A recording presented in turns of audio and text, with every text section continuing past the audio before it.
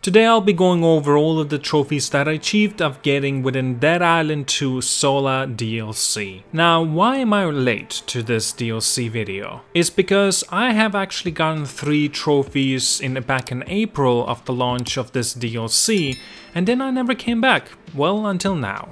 So back in April, I got the first trophy. 3 is a crowd, survive your first clutter encounter. The direct approach ram into 5 zombies in a single charge, you'll get this quite naturally.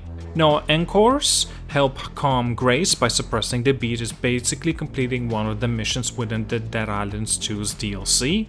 And then after we finally getting the next trophy that was achieved in June.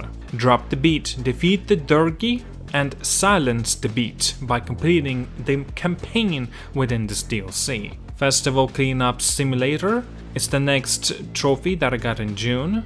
Clean up the large Caustic X spillage in Autopia It's basically, well, cleaning up. And lastly, Rip and Tear, slay 5 zombies with a supercharged Reaper and bisect 5 more with a Saw Blade launcher.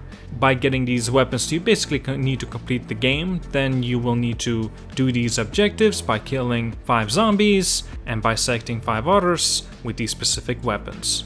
Honestly speaking, I far preferred Haus DLC instead of this DLC. Quite disappointed in fact. In fact, I was so disappointed that only two months later I decided to finally get the rest of these two trophies. Wow. And that's all. That's all of the trophies within this last DLC of Dead Island 2. Finally time to move on. Thank you again for watching, like and subscribe. I see you guys and have a wonderful day.